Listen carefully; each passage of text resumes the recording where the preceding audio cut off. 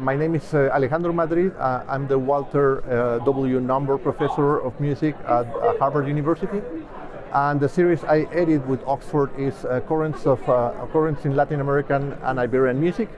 Uh, it's a series that focuses on the legacies of the Spanish and Portuguese Empire and the colonies from those empires.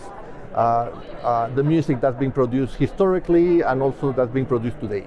I think that the most thrilling part of being a series editor is being able to um, to learn about the uh, the cutting edge uh, research on the area that I'm that I'm interested in. Uh, being able to uh, collaborate with younger scholars who have new and original ideas and new ways of looking at maybe some of the music that we have been studying for, for a while, but also uh, people who are doing research on new areas that have been somehow neglected.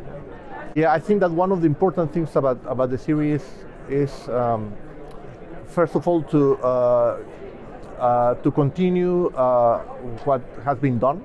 Uh, it's been a very successful series. It's it, it's, got, it's gathered uh, awards from the American Musicological Society, from the Society for, for Ethnomusicology, uh, from the Latin American Studies Association, from the International Association for the Study of Popular Music.